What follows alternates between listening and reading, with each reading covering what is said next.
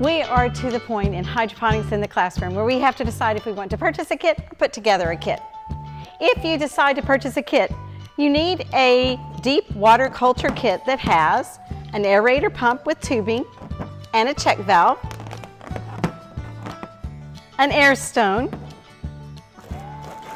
net cups, and most come with Rockwool cubes for your seeding media, and some Leca pebbles to keep your seedlings stable. Some come with propagating sponges and some come with extra pH kits.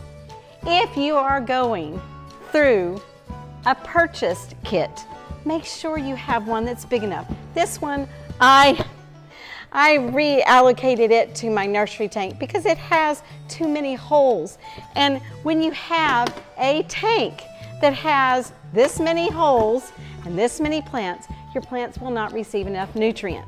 If you are purchasing a tote to repurpose as a deep water culture tank with aeration, you will still need the air pump, tubing, check valve, air stone, net cups, and you will need seeding media and seeding media stabilizers such as Leca Pebbles. If you decide to repurpose a tub, you'll need a 10 gallon tub. It needs to be low profile, so it will be 8 to 9 inches in height, so that leaves enough room on your shelf. Keep your shelf measurements in mind. If each maturing plant needs 3 quarters of a gallon of nutrient to mature, to a healthy plant, how many holes can we place in a tank where we're going to put six gallons?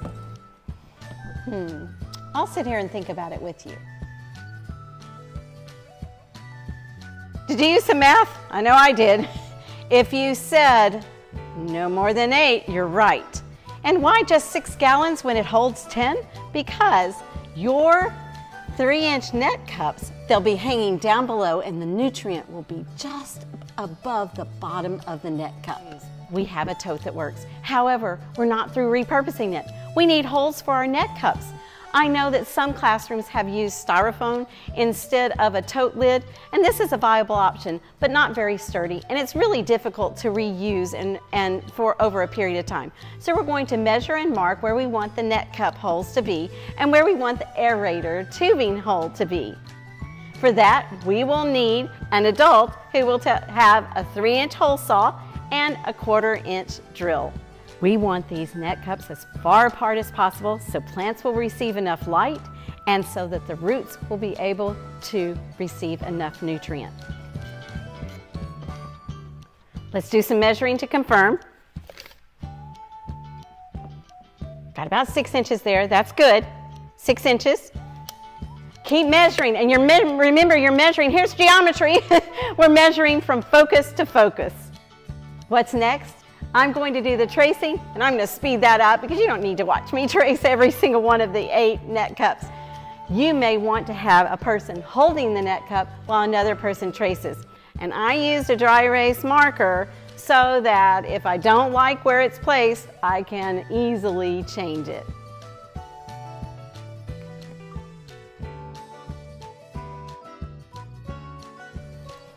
That's it. We have all eight and they look evenly spaced. The adult who's helping you is going to need these items. They're going to need safety gloves, so make sure that they have them. They're going to need safety goggles because they're drilling on something that could bring back up particles. They will need a couple of pieces of cardboard I drill on top of a cardboard piece so that it doesn't go all the way through to my surface. And then I'm going to need to have clamps to secure my lid so it doesn't move around.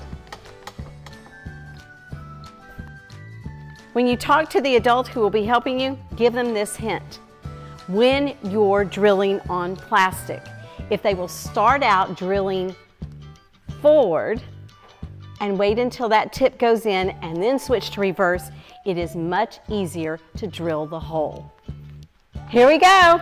Safety goggles, gloves, and I'm the adult who's helping.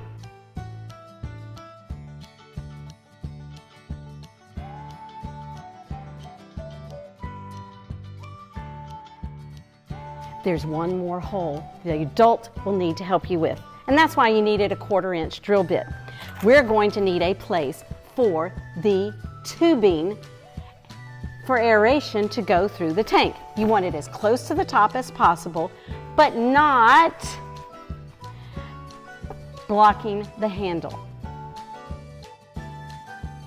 Congratulations, you repurposed what was a tote into a deep water culture tank that has a place for aeration, has a place for eight net cups,